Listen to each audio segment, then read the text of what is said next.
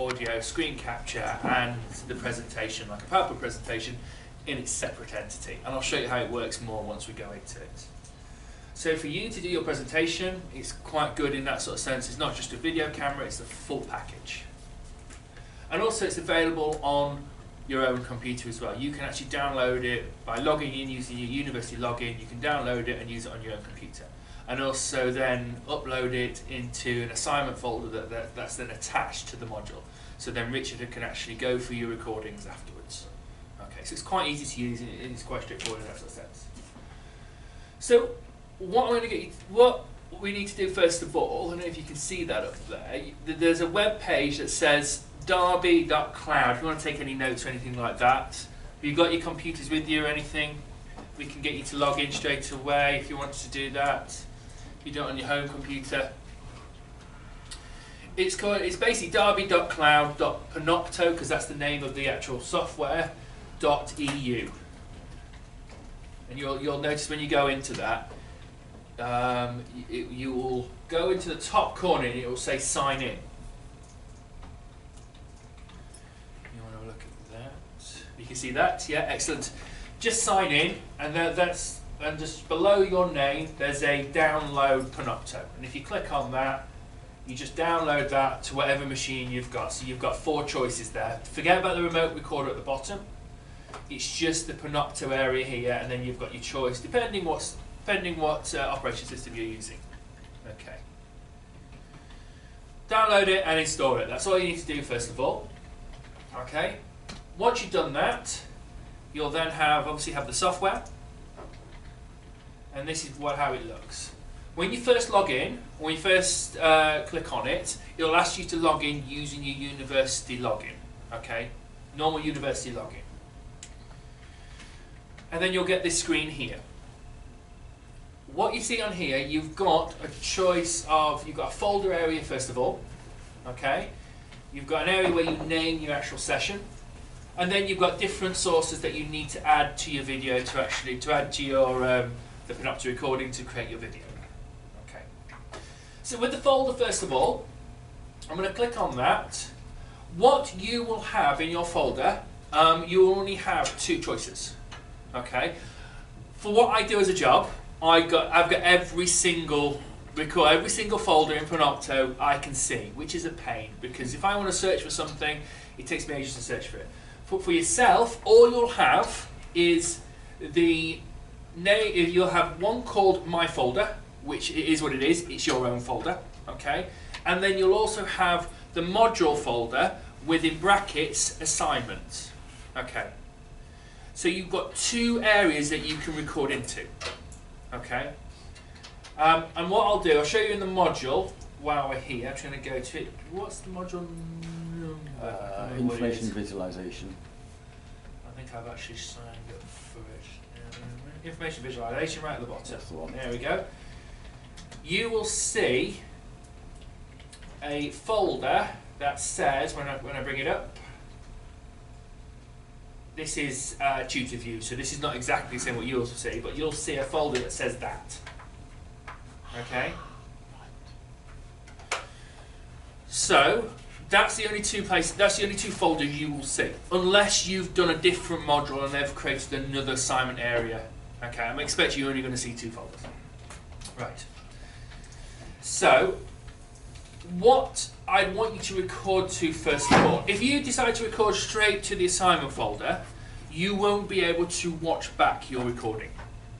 Okay? Because what will happen as soon as you record it and as soon as you upload it, it will drop it straight into that folder and you can't unfortunately go into that folder because it's an assessment folder. So you can't see other people's recordings and you can't see your own. Okay, once it's there, it's there. So I would recommend, first of all, you record into your My folder. And what I'll do, I'll show you in a bit how you then you can move that. Once you're happy with it, if you've created more than one recording and you just want to pick your favourite, once you're happy with that recording, I'm going to show you how you can move that out of that folder and put it into the assignment folder. Okay. Again, this is all in the instructions in the module as well. I'll show you that in a bit.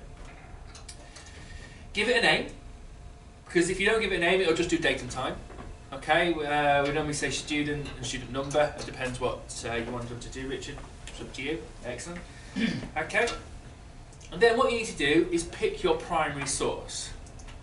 You've got the choice of having video if you want to use video. Do you want your students to use video or it's, it's up to you? It's up to It's them. up to them. Right, okay. So as you see, I've got a webcam here, so it picks up my webcam. Also, you've got to choose your audio. You've got to, I know this might sound obvious, but you've got to at least have audio. We have had people record before where have not picked any, and it's just a PowerPoint video with no audio, which doesn't make any sense really. Panopto will still let you record even if you don't pick an audio, which is a weird sort of fault that it's got. So remember at least pick your audio, okay? As you can see here, you've got an audio representation. So make sure you're, you've got a good audio as well. Okay, make sure we can actually hear you and you can actually see that it's, it's going to record a good audio. If you need to manage that, as in like turn it up and down, you've got a a volume just here as well. Okay, and if I take video off, it just sits here. It just sits here instead, basically. Okay, if you need to manage. Then what you need to do is open up your PowerPoint. Okay, you just open up your PowerPoint as normal. I'm going to see if I've got anything to show you quickly here while I've got a PowerPoint open. Uh, let's just go to my. Uh, let me do it this way. Okay, I'm just going to log into my 365. Sorry, no, 365. And I'll just show you with a PowerPoint, just so I've got. Uh, shall we show you?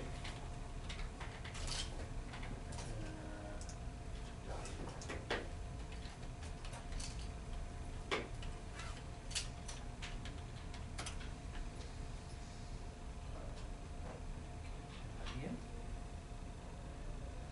Excellent. Let me just open up. What you do need to do, because I know if you if you use uh, 365 PowerPoint and use it online, I don't know if anyone ever uses that, it doesn't treat it as a normal PowerPoint. It just treats it as a um, a web page. Okay. So if you wanted to use um, the Office 365, 365 PowerPoint online, then it won't recognise it as well as it would do if it was downloaded. Okay. Um, what it does do when it's downloaded, it actually recognises each slide in its own entity. So when the viewer watches it, they can flip from one slide to the next and move on that way if they wanted to. Say you're a, a student in a in a, in a in a lecture and you want to go to the, the bit that you missed, then you can go click on that slide. It doesn't do that with the online. It will do that with the, the, the downloaded version. Does it do basically. it with OpenOffice equivalent to PowerPoint or just with PowerPoint? just with PowerPoint, basically. Yeah, just with PowerPoint. But it also, what it also does, it records the screen as well. So even if you are using the online version, at least you'll have a screen recording of it, but you won't have the extra little bit that Panopto does for you. Okay. But I'll just give you an idea anyway. Okay, so if I get my recording back up again. So make sure your PowerPoint's ready. Okay. All you need to do then is just press record. Make sure you're recording, as you can, as you can see here. Put your PowerPoint into presentation mode. Make sure it is in slideshow mode, okay, because then it, it that's how it recognizes as individual slides, okay? And just do your presentation as you would normally go through it, okay? Once you're finished, like always, escape out, find your Panopto, press stop. Once you've done that, it'll ask you recording complete. You can actually rename it from here, and you can add a description from here if there's any extra information you want to add to it. Once you've done that, upload it, and what you'll see is these two bars here. You see a blue bar and a black bar. That that means it's uploading. You can't switch your computer off until they disappear. Once they've disappeared, that means it's uploaded and it's just processing on the server. Okay, this might take a little bit of a moment. This is depending on your computer basically and, and, and how fast the uh, and how many people are using Panopto at the time as well because it's a, it is cloud based, but it does go by which institute or how many people are using it in the university and things like that.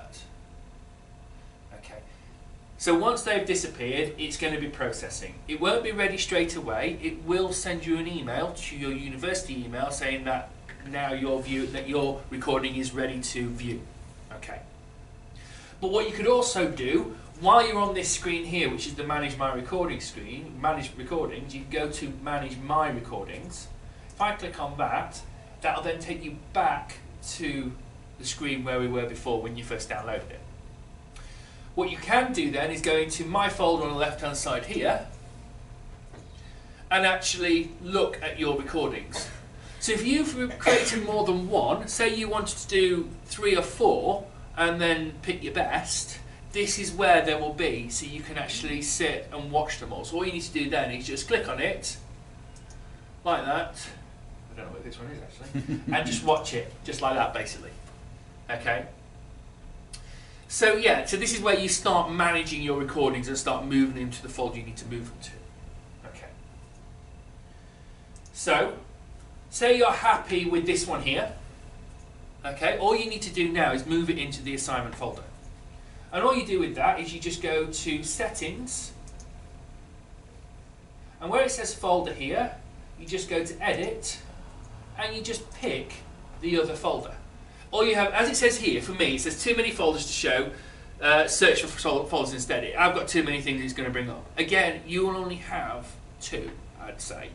So you, instead of picking my folder, you pick the, the, uh, the folder for the assignment. Okay. If you see your, your module grayed out and it's got a little arrow next to it, what it sometimes does, it, it does it, it sometimes does it, sometimes it doesn't. You need to click on the little arrow and that'll drop down the actual assignment folder. Okay, so if you think, oh, that's grayed out, it won't let me click on it, there'll be a little arrow next to it, and that'll let you then drop down. It's, it's another little thing is a bit weird, really. Hmm. It means that you can't record into the main folder because that's tutor access, but it gives you a second folder that gives you student access bit weird. Anyway, so yeah, so you just find that for you. Once you've done that, say this is the folder you've just moved it to. Once you've done that, you just save that, and then what will happen? That recording will move out of your folder and then into the assignment folder. Just for your own records, I'd recommend you create a copy. Just for you. If you wanted to keep the recording for your own benefit, something you could show to employees or whatever, I would create a copy. So to create a copy, all you do is go to Manage. Oh, I saved my thing. Let me just save that. Okay, go to Manage. And then it just says here Copy Session. And all you do, you press Copy, and that'll create a second version of it in your folder. Okay, it's just so you've got your own record if you need to, something that you can actually go back to and, and, and watch in a, at a later date. And one of the things you can do is on the outputs one, so if you have recorded the video, so Yeah. you've got it up there of yourself, you can actually change can. in a setting to say, actually, I don't want that video there available, I just want to have the PowerPoint on the screen. Yeah. Um, So with the output side of it, you can, you're right, Really you, quite you, nice. you can download it as a video if you wanted Yeah. to, um, which then gives you different choices. So you can have, if you look at the original uh, Panopto here, you've got primary sources and things like that. It gives you those choices here. Do I want primary video only? Do I want secondary video only? Do I want picture in picture? And then what happens is you just pick which one you want, pick your quality, it will process that for you. It won't give you it straight away because what it needs to do, the way Panopto works, it, it's all, all its different entities all sit at different parts of the server. So what it needs to do is bring it all back together and create that one video. Okay. MP4. Well, yeah, exactly, MP4. So once it's done that, it will then have an apply button here, and that'll be uh, sorry, a download button here, and then that'll just let you then download it as an MP4. Okay. So if you wanted to keep a, hard copy of it, that, that's something you can do as well. So as I say, it's, it, it's quite straightforward to use. Any questions? No? Excellent. What I've put in here, just to give you an idea, I've, I've put in the module. If I go to, I think I put it in student materials, where put it in student materials, to put it into, ah yes, I need to release it. But what I'll do, I need to release this folder, which I haven't released yet. There's two recordings in there. one about using it on a on a PC and one about using it on a Mac. Basically, just show the Mac and the PC are the, they they do the same thing, but they look totally different for some reason. Yeah. So um, it's just to show you that they've all got the same buttons, and things like that. They just look totally different. Okay, um, but yeah, so that's all there for you. So what I'll do, I'll do that now. Actually, I'll just release that bit so it knows it's been released. Okay.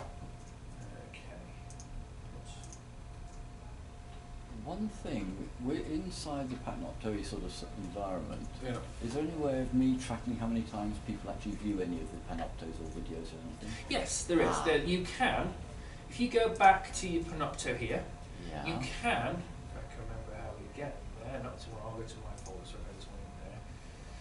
You can go to stats. Ah. So you can go to stats and you can look at who's watching it. Yeah. It's not as um, as detailed as, as you probably like, but at least it gives you an idea if you've got so many people watching it. I'm not sure Right, what it'll yeah. actually give you. Um, yeah. if it'll give you a bit more information on here, if I go up to here, this folder here, this might give me because you can, you've got one for each recording, so you can go to each recording stats, so there will be analytics for that, and then you've got ones for each. Um, you got one for the folder as well. Okay, so you can actually do it that way. But the problem is it doesn't break it up No. into individual watchers, individual users. No. Well, I don't need. Blackboard I'm- might do that though. They might do. Yeah, Might clicks and things like that. Yeah. Yeah, that's probably more talking to you sort of learn sort of Chris Bell and all that lot of stuff to get the analytics for that. But Blackboard should do that for you. With a bit of luck. Yeah. Okay, thanks. But yeah, it's as you say, it's quite straightforward to use. Um, so any more questions? Happy? Yeah. Yeah, quite straightforward. Yeah, brilliant, excellent. I will leave you.